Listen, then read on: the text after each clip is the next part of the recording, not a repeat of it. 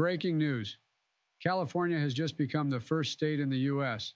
to ban four food and drink additives that have health risks, including potential links to cancer.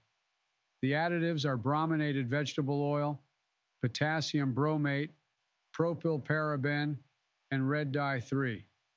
These can be found in various items like candy, juices, and cookies. These FDA approved additives have been controversial for years. For instance, red dye 3 was banned in cosmetics in 1990 due to cancer concerns, but remains in foods like candy corn.